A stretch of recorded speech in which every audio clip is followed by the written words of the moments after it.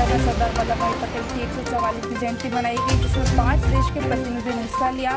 मंत्री श्रवण कुमार ने कार्यक्रम का शुभारंभ